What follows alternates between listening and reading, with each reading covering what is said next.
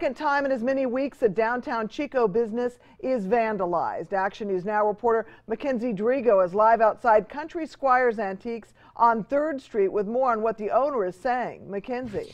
Owner Kathy Squire tells me that they believe that he used a hatchet to hatch through the door. Take a look at this surveillance video. You can see the man hit the glass once, then a second time, and then a third time. Squire tells us this is the third time she had to fix her glass door in the past few years. She says it's getting out of hand. It's been an escalation not just downtown but all over Chico of this type of behavior. It's it's not limited to downtown, mm -hmm. and as a merchant, it uh, it's it's very financially time hurtful. to open. Squire says she hopes police become more present in these situations, situations happening downtown. Coming up at 5, I'll tell you how other merchants around this area feel about this oncurring event. Reporting live in Chico, Mackenzie Drigo, Action News Now, coverage you can count on.